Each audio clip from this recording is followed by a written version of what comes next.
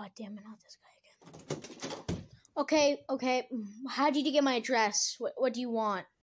Want to make another video? No! Every video I make with you, I get tortured. I get, like, beaten. I get kidnapped. Eh, Or, like, I freaking get my ha- hair set on fire. Yeah, but what if. Good day.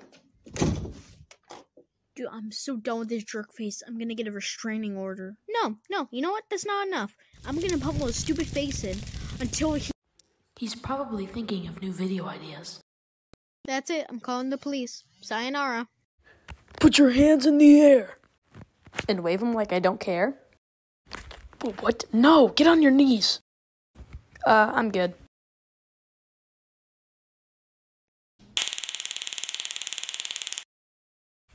You're being charged with kidnapping, torture, harassment, and trespassing. How do you plead?